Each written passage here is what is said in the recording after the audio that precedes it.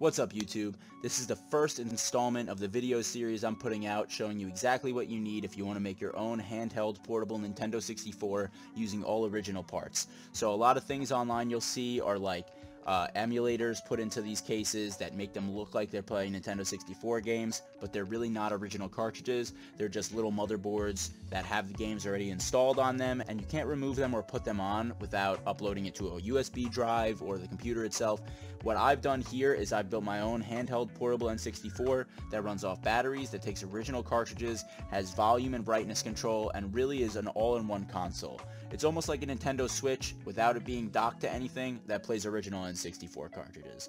It was a super cool project. It was very frustrating at times. It took a lot of research and patience, but the end goal was totally worth it. So let's get right into it. Here's my uh, first version. So as you can see here, this is a prefabricated case that I bought. I mainly bought it because of the clips on the side. It really helps it lock together a little bit easier. All of my future builds use 3D printed cases for many reasons forget about finding a case and then fabricating it and dremeling all this stuff out. 3D printed, you can print it exactly how you want it. You can already make and design the grooves for buttons to fit in or the screen or the motherboard to sit in a certain spot. And you can also pre-thread the holes that screws can go into to hold this thing together. So as opposed to relying on clips, you can pre-make the case to already be ready to accept screws to hold it together, which in my opinion just makes things a lot cleaner and a lot smoother. I drew up a little whiteboard showing like the basic tools and parts that you're going to need, and then I also drew up a really basic schematic. I'm going to go further into detail on the wiring in one of the next videos. This will probably be a two or three part series um, just because I can't really fit it all in here and I don't want to make a video longer than like 15 minutes. So I hope you guys enjoy and I'll show you what I got. So here's my little uh, whiteboard that I drew up. I hope you guys enjoy my N64 symbol that I made. Um, you can see my cat decided to bunk against it and ruin it. So first thing you're going to need is pretty basic. You're going to need a soldering iron, no doubt, no way around it. Need a soldering iron. You're going to need solder. I'd highly recommend getting soldering flux. Soldering flux is pretty much a material that like kind of looks like jelly that you put on the solder or put on the wire you're trying to solder and it helps really bond that solder to the wire and to the motherboard or wherever contact point you're trying to get it to stick. I would get Kynar wire for your wire choice. This is a 100 foot spool of 30 gauge so you can see just how thin it is. It's super good for projects like this because it's very easy to bend, but it's not brittle, so it doesn't break. And it's really good at conducting, so you don't have any data or power loss using it. I've used it for my entire project, and everything works flawlessly after three years. So I would recommend that. You're going to obviously need your N64 board, which is you can either buy a full console or on eBay you can find motherboards individually for sale. Same thing with the controller. You're going to need a controller or a controller motherboard. You're going to need a screen of some sort, which I'll go into in a little bit in this video. You're going to need speakers, you're going to need a battery, you're going to need a voltage regulator, you're going to need a 100 microfarad capacitor, and you're going to need basic switches, momentary switches, tactile switches, whatever you want to use. Out of the things I've just named, those are the main parts. You may need some other parts here and there, but it shouldn't be much. You should be able to get the project really done with what I've just mentioned. I'd also like to mention that some of the other tools you're going to need, these screwdrivers right here, these are called game bit screwdrivers. One of them is for GameCube, one of them is for Nintendo 64. I forget which is which, but if you look at the screws on the bottom of your uh, Nintendo, they kind of look like a star, but they're not exactly. It's more of like a rounded flower. You can try melting like a pen cap and sticking it in there, trying to unscrew it. I think I tried that like three or four times before I just caved and bought these. I think they cost me like seven bucks each on eBay. Totally worth it get it if you plan on doing portables. It'll make your life a lot easier. I would also pick up one of these. This is a tri-wing screwdriver. This is used for GameCube controllers. I've also built a portable GameCube. It's not completely done. It's super close. I just need to finish putting the controller in. Everything runs. It's already in the case, but that thing saved my life because trying to get those screws out is a nightmare. This is the case that I used right here. This is a case by Logic 3. It's actually made for a Game Boy, but like I mentioned, I use the case specifically because of these clips, but my 3D printed cases going forward all have screw taps that are already threaded, so it's a lot easier to use. This was just a good basic case that I could find that I could fabricate before I have my 3D printer. So in this project, what you're trying to do is not get too overwhelmed when you're doing it and just break it down to as simple as you can. All it really is, is your Nintendo 64, you have a controller, you have speakers, you have a battery, and you have a screen. That's really it, and you just throw it all in a case. Now you have to think of, how do I connect each part to each other? So, the battery doesn't necessarily need to go to the speakers, because the speakers run off the motherboard, which power can run through that as well as the screen. It might not work right away. You might get some things working, other things not working. This is my first build, but I went through a couple N64s and a couple screens. On the first one that I did, I started getting sound, but I had no video. Then I started getting video, but it wasn't colored. It was like a negative looking video and it was all super frustrating. I ended up finding out that my screen was busted, but that's also why I'm going to recommend using a different screen than I used. The screen that I used in this guy right here is a Sony PS1 screen.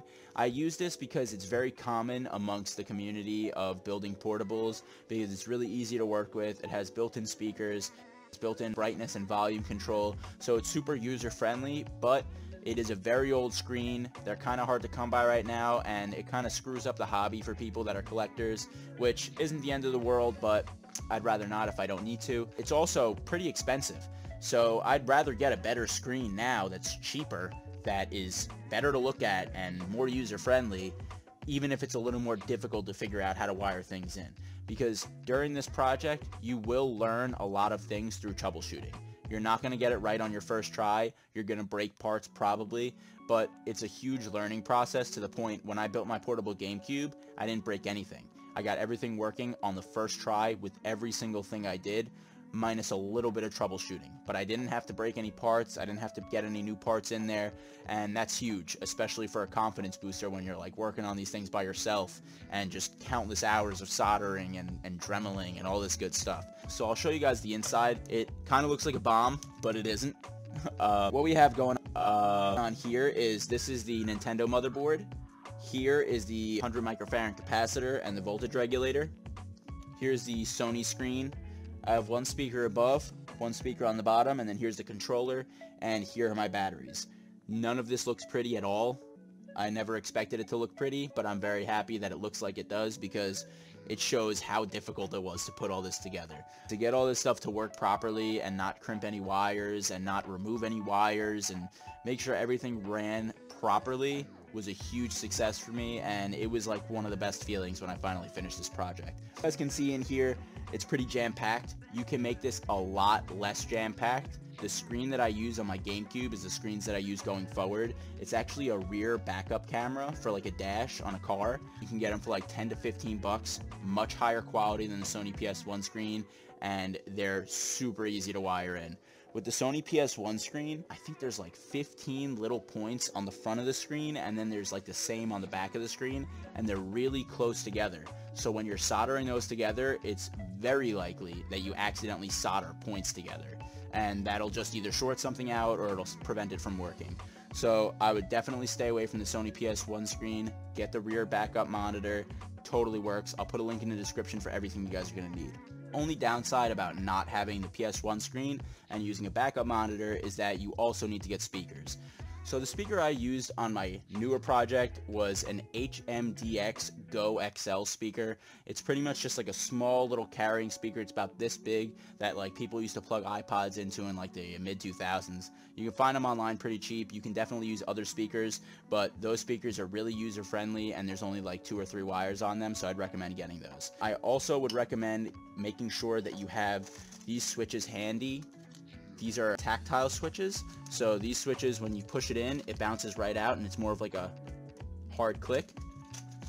This is a momentary switch, if you guys can see this. And it's like a smooth. It goes in and then just slides out. Slides in, slides out. Slides in, slides out. I would recommend getting really whatever you want, but I prefer tactile switches. They're a little bit more responsive, they don't get stuck as easily, and they're pretty cheap as well. I think I got a hundred of them for like three bucks on my original build, I actually just used the original controller, and underneath, when you take apart the controller, you have this little rubber pad that has a contact point on it. So when you push the rubber down, the contact makes contact with the controller motherboard, and that's what sends a signal that you're hitting that button. All you need to do to bypass that is put one wire on each end of the contact point and wire it up to the switch, serves the same exact purpose. Since this was my first build and I was trying to get it to fit in this case, what I ended up doing was just cutting out the controller head right here and I just relocated this little joystick right here. Another thing I would recommend getting is get an aftermarket joystick. This is the aftermarket joystick right here. I think it's like 15 bucks online. Again, I'll put the link in the description to everything. And you can see how smooth this thing is. Super smooth, bounces back, perfect. Obviously, Nintendo 64s are an older console. It's kind of hard to come by a good controller. And even when you do, you really don't want to like break that thing apart and ruin it because they are hard to come by.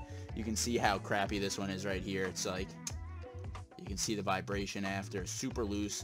This is not even me moving it. This is just loose. This is just loose definitely get one of these aftermarket guys. They work perfectly, and I, I have no bad things to say about them. This is the speaker that comes with the Sony PS1 screen. You can see it's just two wires. The speakers that I mentioned before, the HMDX speakers, I'm pretty sure they're two wires as well. Each one has a positive and negative, and they're super simple to find on the motherboard to, for connection. Going forward in the next video where I show wiring, I'll get more into detail about that. But as for now, I just want to give you guys a gist of exactly what you need so you understand what you want to buy if you do want to get into this project. So let me show you guys this little wiring schematic I drew up. It's super basic, but it'll give you guys the idea of what exactly you're doing here. All you have is your screen.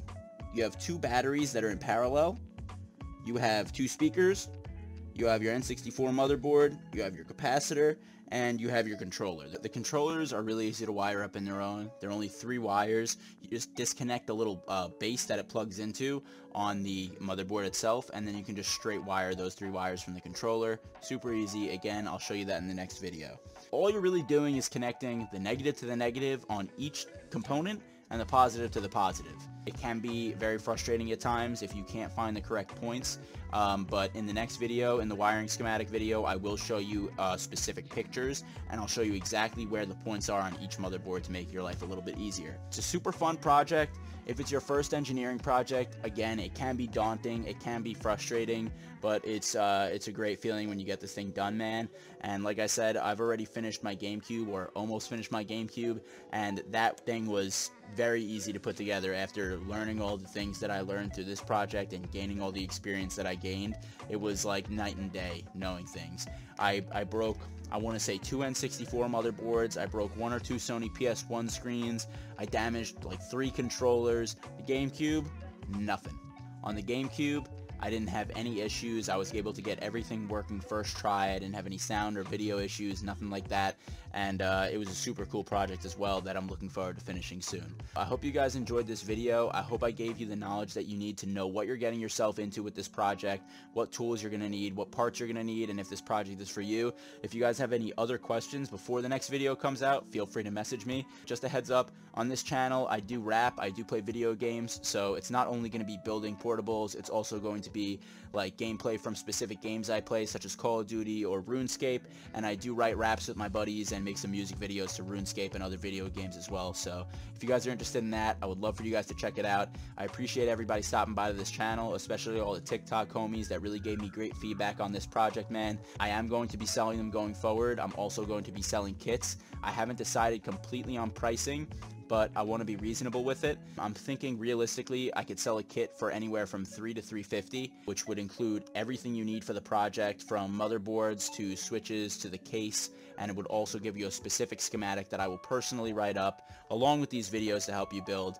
And I'm thinking for a full console, it could be anywhere from 450 to 500 depending on how you want it how easy it is for me to build at the time, etc. I'm always up for discussion about these things. There's always room for negotiation. I just wanted to get this video out because a lot of people have been messaging me about it, asking me when it's going to come out. They want to build this. They want to know what's going on with it. So I hope you guys enjoy and stay tuned.